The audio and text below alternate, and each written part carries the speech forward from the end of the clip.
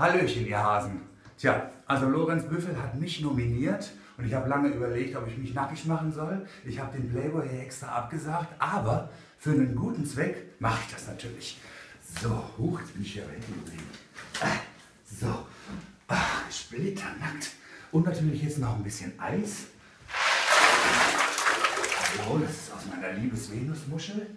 Und jetzt stelle ich hier natürlich standesgemäß als Diva in Pöms. Oh, ist das kalt. Uh. Uh. Uh, man sieht es auch an den Lippen, das ist hier auf dem Kalt hier drin. So, also, mache ich mir noch ein Säckchen auf. Oh, jetzt ist übergeschwappt. Nee, das kann ja mal passieren. So, jetzt gibt es noch ein schönes Säckchen. So, ich nominiere Katja Burkhardt, die kann das schön in ihrer Live-Sendung mal machen. Und dann nominiere ich natürlich Daniel Hartwig und Sonja Zietlow, weil sie mich im Dschungel so gequält haben. Jetzt müssen die jetzt auch mal ein bisschen machen, auch mal eine kleine Dschungelprüfung machen für mich als Mutti.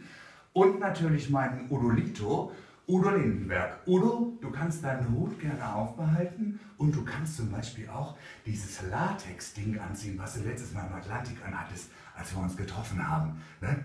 Super. So, jetzt trinke ich hier nochmal. Hm. Ah. Sven, ich bin soweit. Ja. So.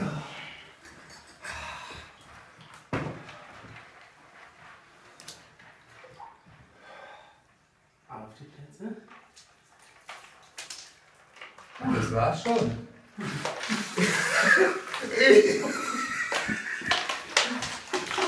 Boah, das ist abgefallen. In meine Haare. Mein Make-up ist bekloppt. Ih, das ist affenkalt. Wie lange geht denn das noch? Ich denke, das geht ganz schnell und auf einmal. Du hast meine Brüste. Sag mal, Wasser ist denn das? Ih, das ist affenkalt. Also man reiche mir bitte einen Lockenstab und eine Puderquaste. Sven, du hast sie doch wohl nicht alle. Dann trinke ich mir jetzt erstmal einen. Oh. Oh, herrlich.